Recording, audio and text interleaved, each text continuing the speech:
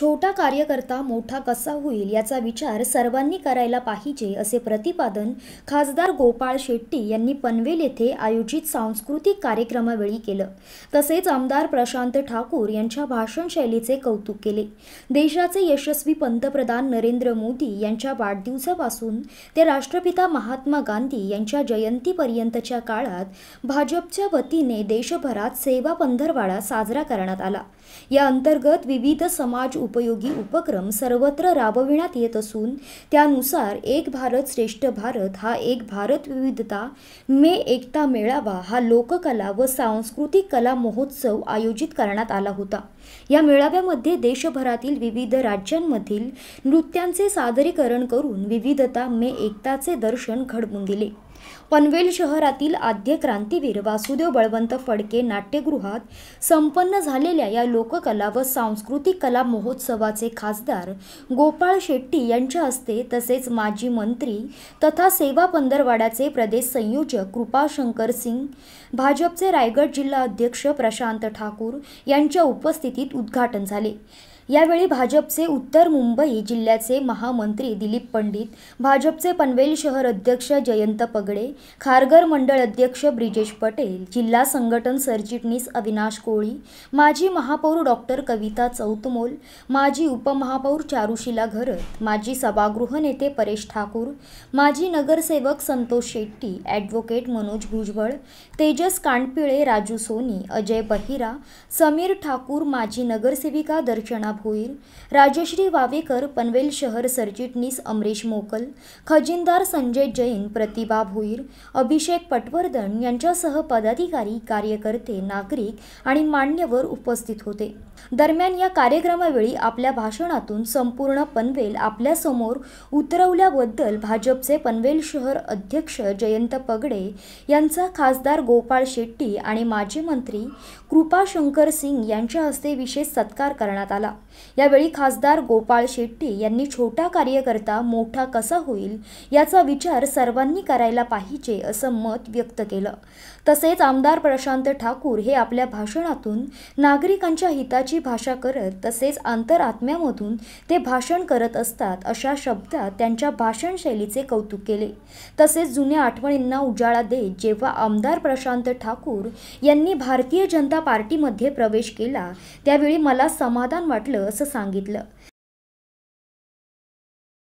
प्रशांत जब मैं विधानसभा में आमदार के रूप में काम करता था तो प्रशांत स्वाभाविक था उन दिनों में वो कांग्रेस में थे।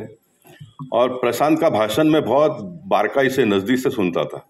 प्रशांत के साथ में तो कभी विधानसभा में मुझे लगता नहीं कि हम लोग कभी बातचीत भी हम लोगों ने किया होगा। मैं जानता था ये प्रशांत है, प्रशांत जानता था ये गोपाल शेट्टी है।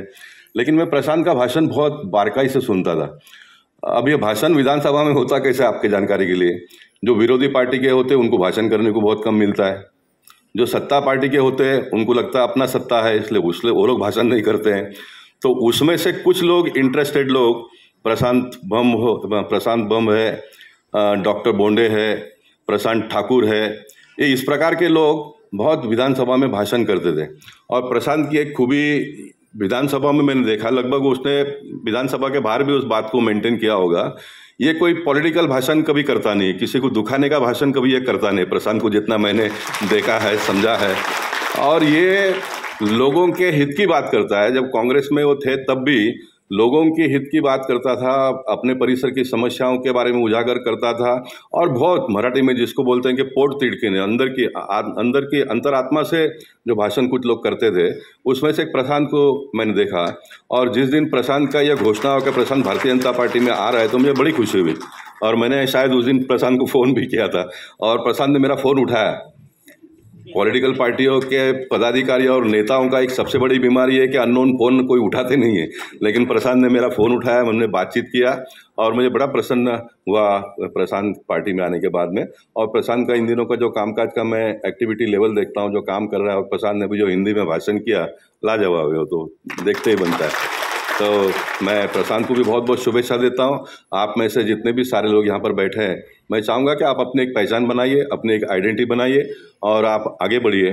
तसेच माजी मंत्री कृपाशंकर सिंग यांनी मराठी ही भाषा नसून एक संस्कृती आहे त्यासाठी ती सर्वांनी जपली पाहिजे असे आवाहन केलं आहे. तीन विधायक और तीन सांसद और तीन जिलाध्यक्ष को सम्मानित होना है।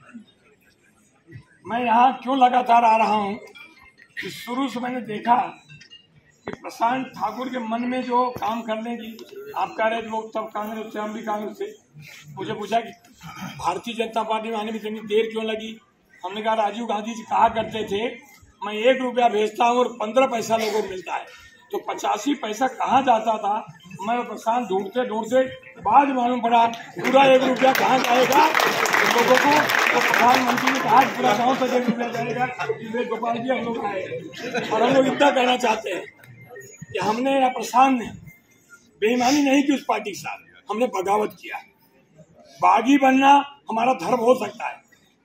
आर्टिकल 370 पाँच अगस्त 2019 को जिस दिन भारत का गृह मंत्री अमित शाह जी ने घोषणा करी, मैंने 20 महीना पार्टी ज्वाइन नहीं किया। लगातार चिट्ठी लिखता रहा। चिट्ठी लिखने के बाद कि जो 370 हटाए जाने का विरोध क्यों कर रहे हैं सोनिया जी, आप इसको अपनी भूल समझिए 370 का समर्थन करिए। और 20 महीने तक आदरणीय देवेंद्र फडणवीस साहब, पूर्व अध्यक्ष चंद्रकांत दादा पाटिल और आदरणीय हमारे जेपी नड्डा साहब की कब पार्टी ज्वाइन करोगे? हमने कहा कि मैं तब तक पार्टी ज्वाइन नहीं करो जब तक देश के पता नहीं चल जाए। क्योंकि आज मैं ये भी कह सकता हूँ कि हमारा सेवा पखौड़ा चल रहा है। कल से धन्यवाद मोदी जी का कार्यक्रम आज से शुरू हो गया है। आज भी मैं कह सकता हूँ कि 370 का विरोध करने वाला जो इस देश में है, वो हिंदुस्तानी नहीं हो सकता। सौ सत्तर हटाने का विरोध करने वाला हिंदुस्तानी नहीं हो सकता है। इसलिए मैंने बगावत की और पार्टी छोड़ी। गोपाल शेट्टी जी, आपको आश्वस्त करना चाहता हूँ।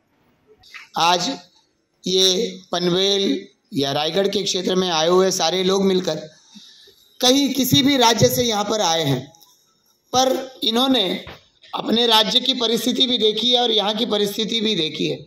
और मैं आपको गर्व के साथ बताना चाहता हूँ कि 2014 से लेकर अब तक मोदी जी ने इस देश के लिए जो कार्य किया है, ये कार्य आप सभी के सामने है। 2014 का लोकसभा का चुनाव होने दीजिए या 2019 का चुनाव होने दीजिए।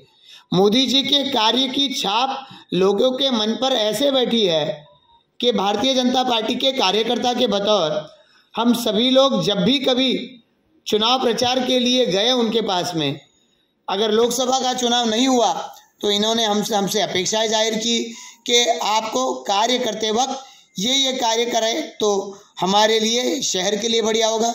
पर जब 2019 का लोकसभा का चुनाव था 2014 का लोकसभा का चुनाव था, इन लोगों ने हमें बुलाया।